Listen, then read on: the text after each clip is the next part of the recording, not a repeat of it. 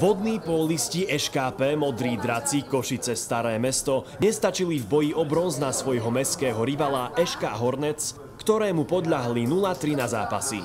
Za tzv. zemiakové medaily dostali od vedenia klubu i náležitú odmenu. Kto očakával tréningy navyše, zostal prekvapený. Hráči totiž vymenili loptu za kuchárskú varešku v kuchyni Time Out Restaurant and Café. Nejaký polrajch nie som, že by som vyhral Majsteršefa, ale tak myslím, že od hladu nezomriem, viem si navariť.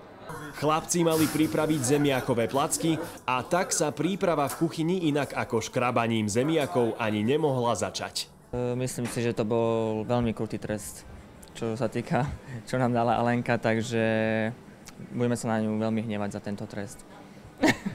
Pod vedením skúseného kuchárskeho týmu Time Out Restaurant and Café najprv pripravili cesto a pustili sa do vyprážania zemiakových placiek.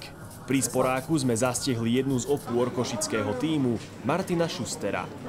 No ide to trošku ťažšie, ako som si myslel, ale e, zvládame to spoločnými silami s Mírom, to zvládame, takže je to v pohode.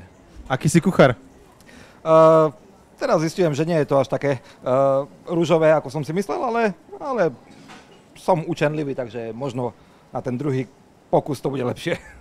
Hráči sa až v priebehu varenia dozvedeli, že v prípade zisku bronzových medailí na nich čakal výlet do Contact Wellness hotela vo Vysokých Tatrách. Za tretie miesto určite by sa viac, uh, nemuseli, alebo teda nemuseli by sa toľko snažiť v tej kuchyni, možno, že by boli obslužení myšelinským kuchárom v Tatrách v jednom krásnom hoteli a tak museli pracovať oni, no bohužiaľ.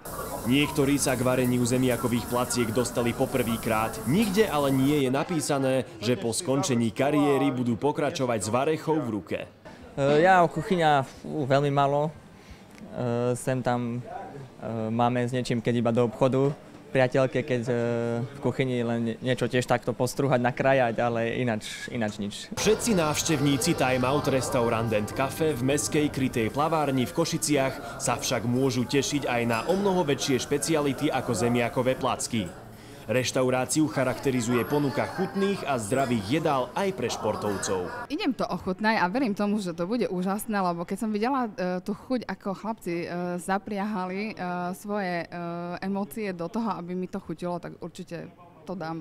Napokon prípravu placiek nikto z hráčov nebral ako trest, ale cennú skúsenosť v miestnosti, kde sa počas celého roka často nedostanú. Ja som za každú srandu, partia sme super, E, stále nás ešte mrzí, že to tretie miesto sa nepodarilo, ale taký je športový život.